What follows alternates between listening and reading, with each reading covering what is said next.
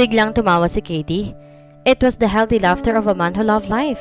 Yun ang natanto ni Sabrina. Eh, hindi personal question yun. It's not a secret. Maraming nakakalaman na nagpa-heart transplant ako. I got sick while I was training for the Ironman. Wika ni Katie. Ano ba yung Ironman? Parang big deal talaga yun sa inyo eh. Alam ni Sabrina kung ano yun pero tinanong niya pa rin. She even leaned forward in her chair. Yun ay para magmukhang interesado talaga siya sa sasabihin nito. It really is a big deal. It is a very tough race. Talagang bato-bato ang mga sumasali roon. I collapsed before I could join the race and it increased everyone's sympathy for me. Naaliw sila sa iyo? Gusto lang ni Sabrina ang pahabayan ng usapan. Ang totoo, hindi niya maintindihan ang sentimiento nito. If truth be told, she had no idea what he was talking about. Ngumiti ito. On a deeper level, I think it scared them. Adventure racers kami. We climb mountains. We do things normal men don't do. I agree with that. Biro niya. Yung mga taong normal hindi magpapakahirap ng ganyan. Natawa ulit ito. Kaya nga masatakot sila para sa akin. Para sa isang taong active, pinakamalaking sakripisyo yung magkasakit na hindi man lang sila makakilos. Siguro pinilit nilang tumulong dahil nagpapasalamat silang hindi sa kanila nangyari yun. Marami pa siyang gusto itanong dito pero may tumawag dito. Inahanap daw ito ng kung sino. I have to go. Pasintabi ni Katie sa kanya. Iniumang nito ang kamay sa kanya. Nice meeting you, Sabrina, and thanks for coming. Nauna na ito sa pag-alis. Hindi ni Sabrina na iwasang sundan ang tiningin nito. And once more, as she watched him go, something seemed to stir in her heart. Hindi man niya sinadya, hindi man niya ginusto mangyari, tila nakadama siya ng paghanga para sa lalaki. Nanggagaliitin na si Sabrina. For once in her life, she felt so unwanted and undesirable. Isang linggo naman lang na mag-donate siya ng dugo at sa ng panahong yon, hindi siya nakatanggap ng text message mula kay Katie. Abot-abot ang pasalamat nito bago sila maghiwalay pero hindi nila kinuha ang cellphone number niya. Mahirap tanggapin ang katotohanan walang impact ang beauty ni Tito. Tatambay sana siya sa Adventurers Paradise para na makita niya ang poster na nakapaskil doon. Announcement iyon para sa isang tree planting activity. Hindi niya binasa kung saan bundok yung gagawin, kung anong punong itatanim at kung anong kabutihang may dudulot niyon sa mundo. Ang mahalaga na sipat niya kung sino ang isa sa organizers ng event, si Katie. Kahit talahib hindi pa siya nakakapagtanim, kaya wala siyang ideya kung anong dapat isuot sa tree planting. Mabuti na lamang at naandoon si Bunny. Hi friend! Bati niya rito. Ano bang dapat isuot sa tree planting? Makahulugan ang tingin ipinukol nito sa poster. Umismid ito sa kanya. Naniniwala ka ba sa kabutihang idudulot ng tree planting? Parang naghahamon ang tinig dito. Does it matter whether I believe it or not? Hirin niya. Basta magtatanim ako ng puno, may may tutulong na rin yun, hindi ba? May punto siya at alam nito iyon. Negosyante rin to. Kung gusto niyang gumastos at bumili ng libo-libo sports outfit para mamputikan sa tree planting, hindi siya nito pipigilan.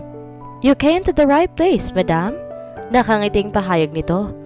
Ang suggestion ko, dark color ng pants mo para hindi mahalata ang putik na didikit doon. Magdasal ka lang na walang linta. Otherwise, hindi mo sila makikita ang pumapasok na sa pants mo. Linta? Teka, Tinadakot mo naman yata ako eh. Bakit may linta? Wika ni Sabrina. Eh sa may linta eh, ano magagawa ko? Ganti nito. Ngalingali niya itong esmeran. Feeling niya sinasadya ni Bonnie na sindakin siya at lihim siya nitong pinagtatawanan. Alam mo mukha kang stalker. Hirit nito. Hello, hindi ka naman sinusundan ng ganun-ganun ng si Katie, no? Giit ni Sabrina. May purpose naman palagi ang pagbuntot ko sa kanya. At wag nating kalimutan, may nakikinabang sa mga ginagawa ko.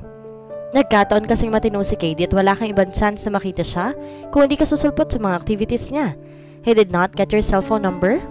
Pinagduldulan pa nito ang masakit na katotohanan. Pero sa dakong huli pagkatapos sa mahaba-habang pagtataray nito, tinulungan din siya nitong pumili ng magandang outfit para sa tree planting session. Excited ang lahat na marating nila ang paanan ng burol. Aakit daw sila ng kaunti pagkatapos doon nila itatanim ang mga seedlings. Mabuti naman at mga lalaki lamang ang kailangang magbibit ng mga pananim. Yun nga lang, umakit sa burol, hinihingal na si Sabrina. Paano pa kung magbubuhat siya? Nakita niya si Katie pagdating niya pero kanina pa itong nauna sa kanya. Bilang konsiderasyon marahil sa pagkakasakit nito. Hindi na ito pinagbitbit ng pananim. Thanks guys. Anito nang madaanan sila.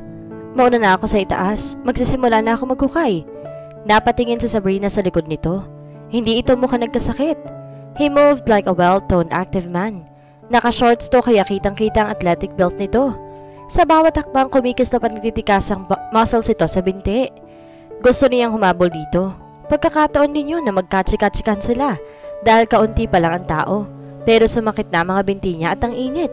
Maulap ang langit na parang uulan pero mainit at malagkit sa pakiramdam. Napansin na lang niyang nasa likod na niya si Bonnie. Bago ito nag-overtake, bumaling pa ito sa kanya. You are not physically fit. Pasumbat ang pagkakasabi nito niyon. Para makabawi, pinilit niyang humabol dito. Ang yabang mo naman. Kasalanan ko ba yun? Sad ng dalaga. Tuloy-tuloy sa pag-akit si Bonnie sa burol. Tumigil lang ito na makarating sila sa lugar ng pagtataniman nila. Ibinaba muna nito ang pananim bago humarap sa kanya. Kasalanan yun kapag sumali ka sa ganitong activity. Sagot nito. Kapag may nangyari sa'yo, may istorbo pa ang tree planting. Imbes na maging tagumpay ang activity, masasira ang schedule dahil kailangan ka pang tulungan. Maski yung mga natala sa barangay na to, mapipilitan pa sila magbigay ng tulong. Hindi mo ba naiisip yon? You will be a liability. Bakit di mo yun sinasabi nung bumibili pa lang ako ng outfit? Sumbat ni Sabrina dito. Makikinig ka ba? Ganti nito. You are beginning to be obsessed over KD. Makikipagtalo pa sana siya pero tinawag sila ni KD. Itinuturo nito ang mga lugar na nakukay nito kung saan nila pwedeng ilagay ang mga pananim na dala nila. Hindi ni Sabrina sinayang pagkakataon. Bumuntot na siya rito. Parang wala itong kapaguran. At okay lang dito na mas marami pa ang kwento niya kaysa pagtatanim. Feeling mo ba? May utang na loob ka sa mga nag-donate sa'yo? Kaswal ang pagkakatanong niya. Parang normal conversation lamang iyon. Pero gusto niyang malaman ang pananaw nito sa donasyon ni Lauren. Higit pa sa utang na loob. Sagot nito. I don't know how to thank everybody. Kaya't sinubukan ko na lang ibalik sa ibang lahat ng biyaya at pagmamalasakit na nakuha ko. May ideya ka ba kung sinong heart donor mo? Winasak muna ni Sabrina ang plastic na pinaglalagyan ng pananim sa kanya niya nilagay sa butas na hinukay ni KD. Ginamit na rin niya yung dahilan para wag siyang tumingin ng diretsyo dito. Hindi niya alam pero pakiramdam niya, hindi dapat ito malaman ng tunay na dahilan kung bakit siya nagka-interest dito. Pinulot ito ang mga plastic na ginalat niya. Confidential information daw yon. Kapag Juan ay sagot nito, ni hindi ko alam kung babae o lalaki ang donor ko. Sumulat ako sa family para magpasalamat. Iniabot lang daw yun ng mga doktor. So, you never tried to find them? Usisa niya. Umiling ito. Actually, my mom asked the doctors if the family needed money. Accident victim daw kasi yun eh. Baka makatulong man lang kami sa kanila pero ang sabi ng doktor, may karaya raw yung donor ko. Hindi kaya mas matutuwa sila kung makita nilang may kabuluhan ng pagkamatay ng kamag-anak nila? Sabi ni Sabrina. Nagkibit balikat ito. Ewan ko lang pero ang sabi ni mommy kung sa kanya raw nangyari yun at ako maging heart donor, ayaw niyang makita ang pinagbigyan ng puso ko. Baka raw matsyempo ang bad trip siya, ibawiin pa niya. Nagkatawanan sila. Parang aliw na aliw ito. Pero naintindihan ni Sabrina ang pakiramdam ng mommy nito.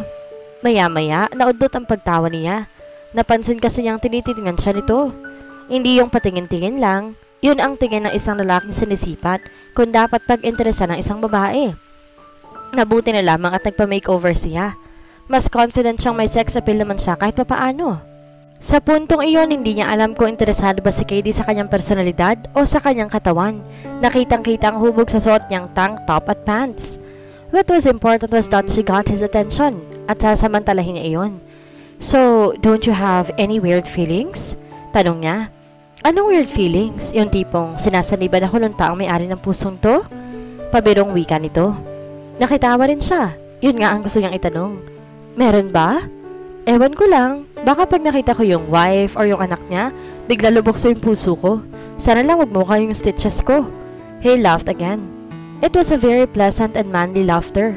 Para napakasarap iyon sa pandinig ni Sabrina. So, what do you intend to do with this new life? Usisa niya.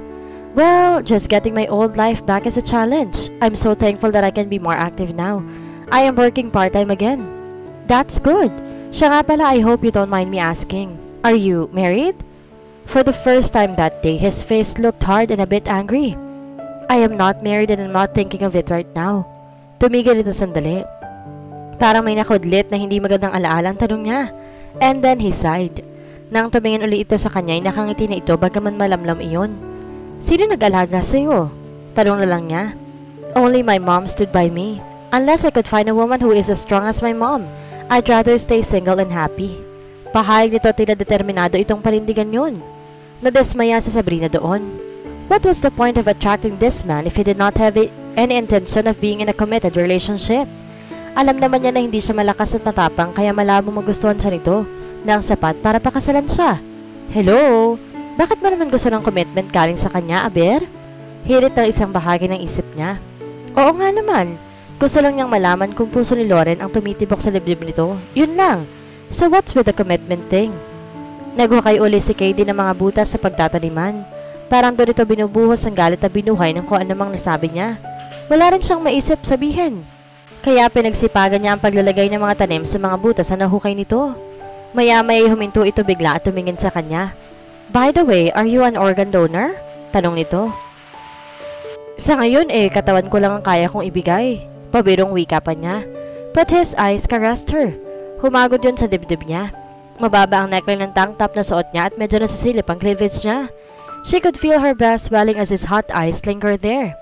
Ang swerte naman na makakatanggap niyan. Parang namamaos ang tili dito na sabihin nito iyon. Hindi ng dalaga alam ko ano mararamdaman niya.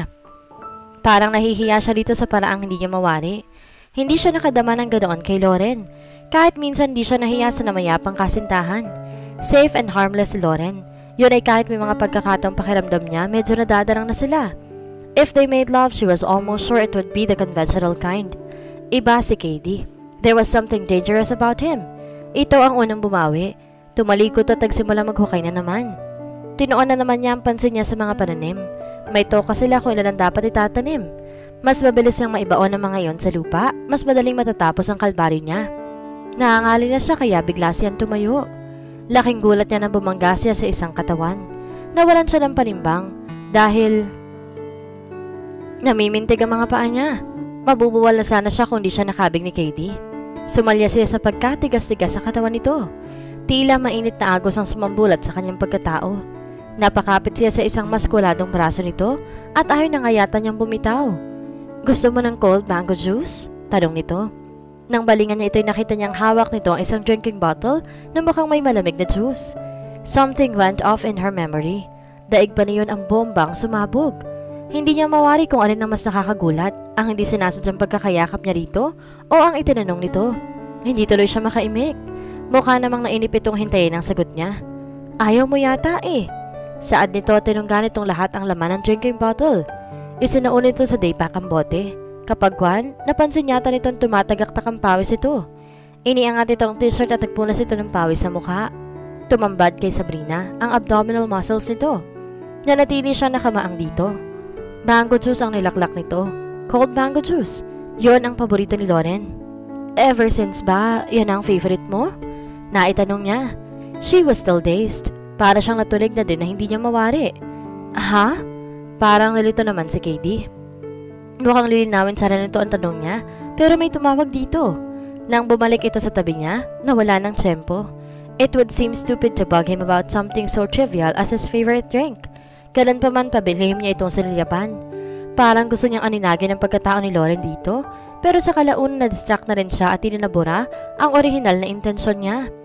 Sa bawat kilos sa mga muscles sa braso nito, naisip niya kung anong pakiramdam na napakaloob sa mga iyon.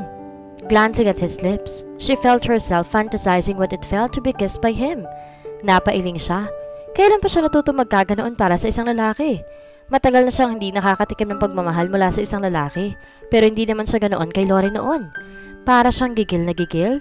Nasobrahan na nga yata siya sa pagbibilad sa araw. Umiling si Sabrina, saka tinoon na lamang ang pansin sa ginagawa. Marami-rami na rin siyang naitanim ng mapansin niyang may kumakanta sa hindi kalayuan sa kanya. Naudlot ang paglalagay sana niya ng talim sa butas. Para siyang sinaksak sa dibdib. What matters most? Yun ang titulo ng kanta. Isa iyon sa pinakapaborito ni Lauren. Hindi ito kumakanta dahil nahihiya ito. Sintonado kasi ito. Pero palagi nitong pinapatugtog ang kanta sa kotse kapag nagre-relax sila sa bahay. Kapag naka-iPod ito.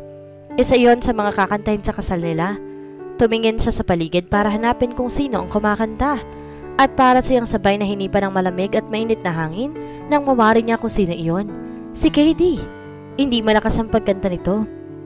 He was just humming while digging holes on the ground and yet she was mesmerized. Maganda ang boses nito pero bago pa nito matapos ang kanta, nabulabog ang tree planting session nila. Bigla kasing umulan. Hindi yun lang na parang bagyo kayong umuulan habang umaaraw. Marami ang tumakbo at sumilong sa ilalim ng mga puno. May mga lalaki nagsuot ng kapote at mga babaeng nagbukas ng payong. May iba namang lalaki nagsigawan at para mga batang naglalaro sa ulan. Nakipaglokohan sa mga ito si Katie, pero itinuloy nito ang pagtatanim. Lumapit naman sa rito. The rain doesn't bother you? Tanong ni Sabrina. Ngumiti ito sa kaumiling. I love the rain. Pahayag nito. Tinaas pa nito ang mukha para sa lubungin ng ulan. It cleanses everything. Para bang binubura nitong maraming bagay para makapagsimula tayo uli? Noon na si Sabrina napaluha. That was exactly what Lauren used to say. Mabuti na lamang at basa na siya ng ulan kaya hindi nahahalata na umiiyak siya. Sa tabi nila nang aasa naman ng isang kasama sa tree planting. Wow pare, that's so poetic. Kailan ka pa naging makata? Kansaw nito. Ganon mismo ang dialogo nila ni Lauren dati. Kinakausap pa siya ng dating kasintahan sa pamamagitan ni KD. Lumakas pa ang una at desisyon ng team leader na bababa na sila ng burol. May mga nagprotesta. Sayang daw ang pagkakit nila. Yung iba nagbiroan pa na yun lang ang pagkakataon nilang maligo. We've done enough, anang team leader. Baka magka-thunderstorm pa, delikado tayo. Nagsimula na silang bumaba. Makitid ang daan paket sa burol kaya pa isa-isa sila. Siniguro na Sabrina na maklalapit sila ni Katie palagi. Mabagal siya tinayaan niyang makalampas ang iba. Natawa naman siya na mapansing hindi siya iniiwan ng lalaki. Nasa kalagitnaan na sila ng pagbaba nang lalong lumakas ang ulan. Narinig niyang nagsisigawan ng mga nauna sa kanila. Hindi nila nakikita ang mga ito pero nagkakarinigan pa sila. Kanya-kanyang hanap ng punong masisilungan ang mga ito. Nagkataong may malaking puno malapit sa kanila ni KD. Dito muna tayo. Yaya nito sa kanya. Hintay nating humina ang ulan. Sumunod siya rito at dahil makitid ang lugar na kinalalagyan ng puno, kailangan silang tumayo ng halos magkadikit. Naramdaman niya ang tigas ng katawan nito. She could feel the heat from his wet body. Nang mapatingin siya sa sarili, nakita niyang basang-basa na rin siya. Naaninag na ang hinaharap niya dahil nakadikit ang tera na suot niya sa katawan nito. She could feel the heat from his body. Nagtama mga mata nila. Kahit nahuli niyang nakatingin ito sa dibdib niya. Paano kung hindi humina ang ulan? Wika ni Sabrina. Hindi siya interesado kung tumila ba ang ulan o hindi, but she had to say something to ease the heat building up between them. We will have to stay here longer, sagot ni Katie. Eh anong gagawin natin? Tanong niya. Pwede tayong magtitigan. Bulong nito. Parang nanukso na nagbibiro. Siya ang hindi nakatiis. Siya ang unang kumilos. Hinagod niya ito. Sa braso lang muna para makita niya kung iiwas ba ito. Hindi siya makapaniwalang siya pa ang nagsimula. Kahit minsan hindi niya hinarot si Lore noon. Kontento na lang siyang ito ang lumalapit at manunuyo. Kaya nagulat din siyang para siyang hinihigop sa pagkatao ni KD. She fitted her body snugly against him. Damang-daman niya ang init sa bawat bahagi ng katawan nila na nagkadaitan. Humagod ang palad niya pataas sa dibdib nito. She tilted her face and looked at him. Kahit sinong lalaki mahuhulaan kung ano ang gusto niyang mangyari. Pinagmasdan siya nito na parang nasa kanila ang lahat ng oras sa mundo.